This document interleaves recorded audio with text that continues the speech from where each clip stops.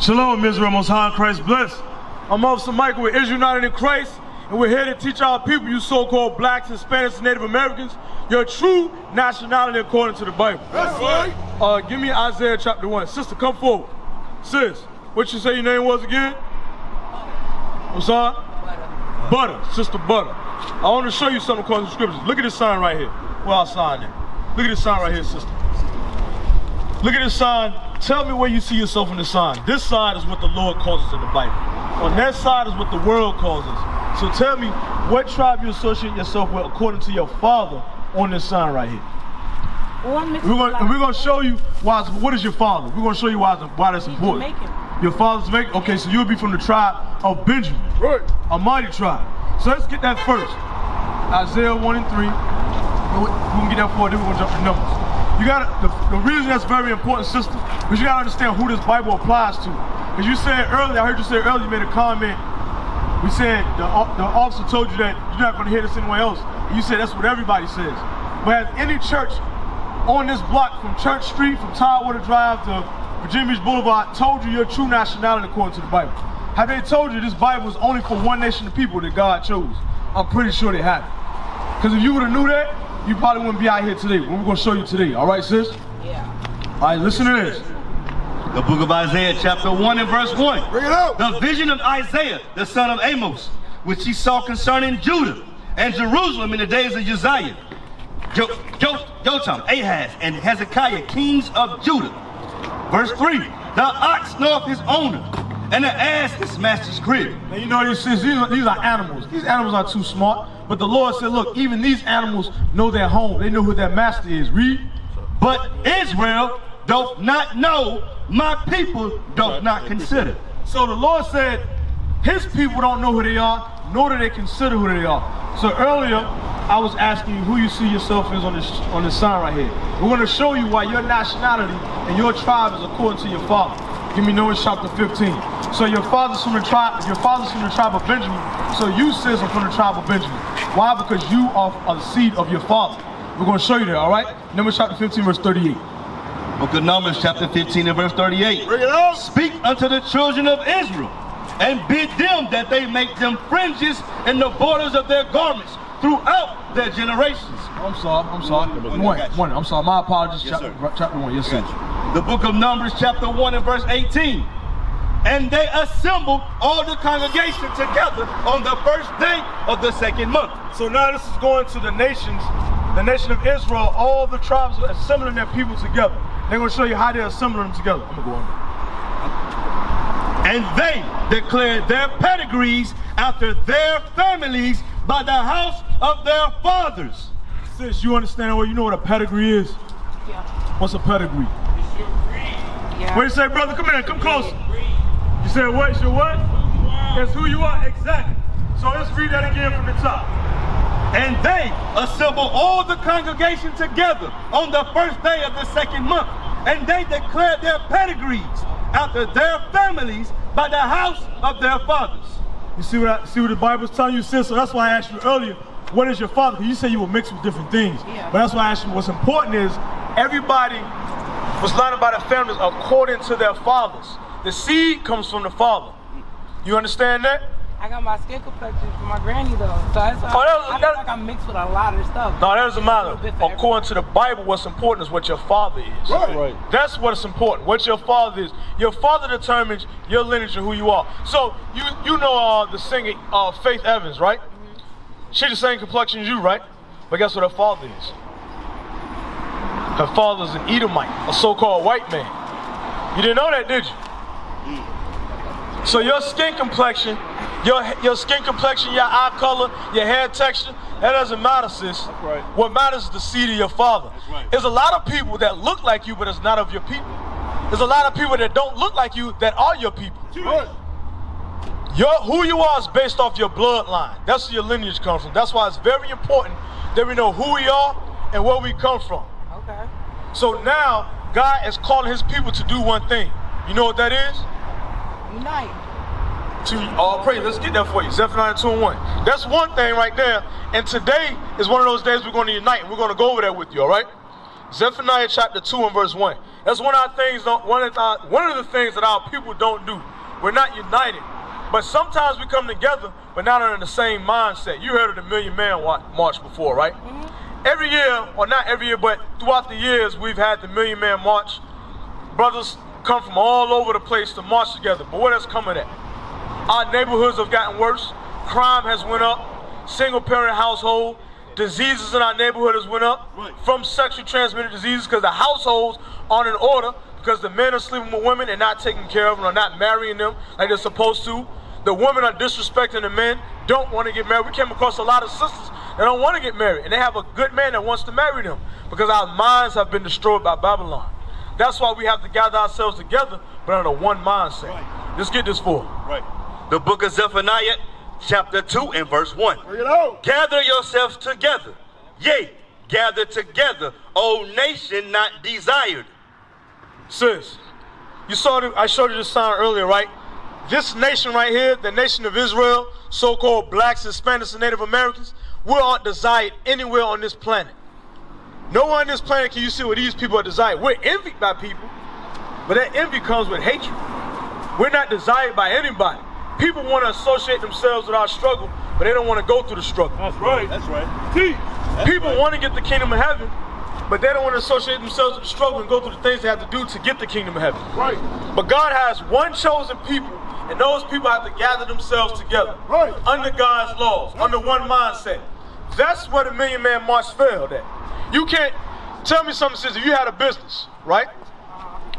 And you worked at, let's say you had a nail salon, you had a number of other things in there. If somebody in there was a thief, could you have a business together with that thief? Hell no. You couldn't have a business with them. You both have to be have to have that business mindset to make money together. Right. Same thing with the nation of Israel. The so-called blacks, Hispanics, and Native Americans, we have to be under one mindset to keep God's laws. Right. Keeping the Sabbath day holy. We're going to show you that. Just uh, go ahead and jump to Exodus chapter 20. We're going to go, go to verse 8. That's one thing we can start it with right now. Hold each other accountable.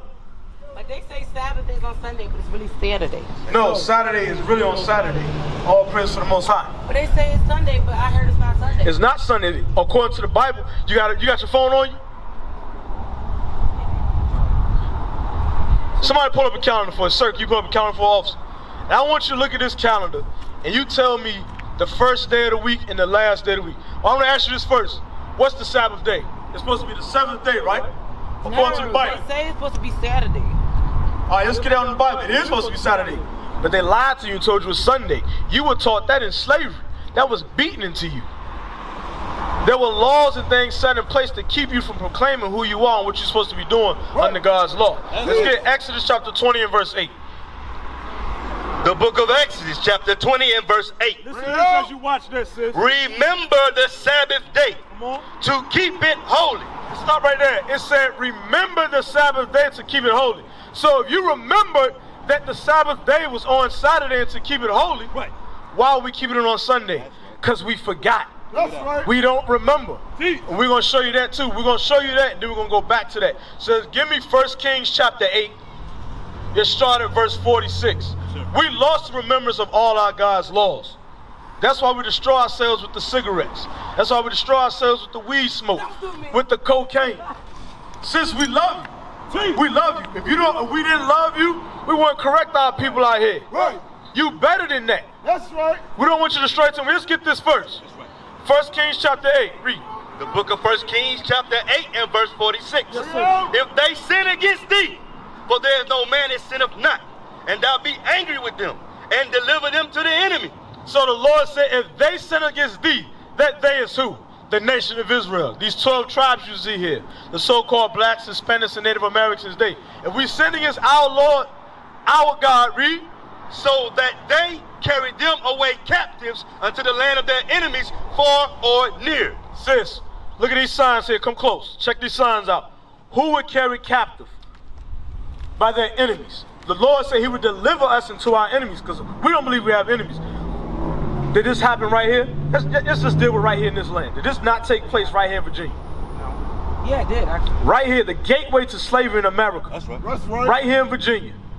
We've forgotten that, Sif. We've, we've strayed away from it. Let's keep reading, sir. Verse Verse 47. Yet if they shall bethink themselves in the land whether they were carried captives and repent. You hear what that says, sis? Yet in this land, if we bethink ourselves in this land where we carry captive, earlier what were we talking about? The Sabbath day. You said, yes, you know we, we're supposed to keep the Sabbath on Saturday, which is the seventh day of the week. But they told us Sunday. So the Lord told us what? In this land. If yet we turn back to God's laws and bethink ourselves. Now remember, oh, we open this Bible up, we're supposed to be keeping the Sabbath day on Saturday. Right. Keep reading. Yet if they shall bethink themselves in the land whether they were carrying captives and repent and make supplication unto thee in the land of them that carry them captives. What's that supplication, sis? Admitting your faults, admitting your sins. Oh, Lord, I, I, Lord, forgive me. I was worshiping on Sunday. I forgot I was supposed to be worshiping on Saturday, Right. the last day of the week, not the first day of the week. Right. I bethought myself in the land where I was carried captive. That's what, that's the mindset we have to be in. Keep reading. Where we at, officer? Bottom of 47. All right. saying, saying, we have sinned and have done perversely. We have committed wickedness, and so return to thee with, with all their heart and with all their soul in the land of their enemies, which led them away captive. So with all our mind, when it's talking about the heart, it's talking about the mind. With all thy mind, return to the Lord. Read. and pray unto thee toward their land, which thou gavest unto their fathers, the city which thou hast chosen, and the house which I have built for thy name. That city is Jerusalem. That's why we face the east when we pray. We, we pray. We're here in the land of, the, of, of America, so we, we turn to the east and pray. This is prophecy right. The Lord is showing you that we was carried captive in this land. That's what he's telling you right now. So let's jump back. Let's give our sister, let's show our sister how to keep the Sabbath day holy. So she can bethink herself, remember who she is and where she came from. All praise the sister knows now she's from the tribe of Benjamin. So now we're gonna go forward. How you doing, sir? On the bike, how you doing, brother? Well, you got any questions, let us know. Come check our signs out. We're showing our people who they are according to the Bible, and now we're going to how to keep the Sabbath day holy. Right. All right? Exodus chapter 20 and verse 8 again. Let's read it again. The book of Exodus, chapter 20 and verse 8. Remember the Sabbath day to keep it holy. Six days shalt thou labor. Six days shall I labor, brothers and sisters. So from Sunday through Friday before sundown, the Lord gave us the time to labor, to work. Read. and do all thy work. But the seventh day is the Sabbath of the Lord thy God. What day? The seventh day. Sister Butter, what's the seventh day of the week? Saturday. All praise to the Most High. All praise. We used to scream black power while heroin was pushed. But at the end of the day, nothing's in vain. IUIC has been given a vision. The tents of Judah has risen. Many has attempted the mission, minor murmuring, omitting, and missing the mark. Just reading that he had the flame of fire in his eyes gave us the spark. We on Paul's mission. We out on the road, purple and gold, from Mexico, Cuba, Haiti, Ghana, Sierra Leone. 144,000 boots banging, concrete crackling. These are our men repented at heart. The scriptures is proof. IUIC, we deliver the truth.